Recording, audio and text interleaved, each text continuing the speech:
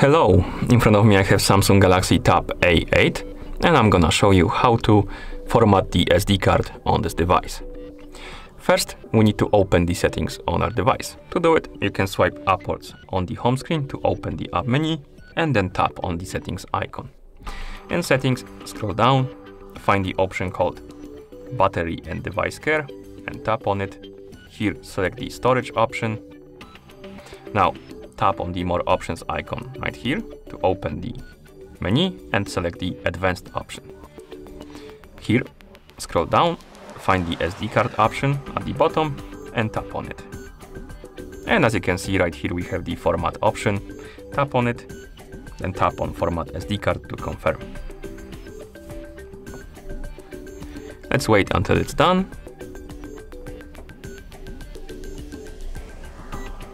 And once it's, once it's done, you can tap on the done button to confirm.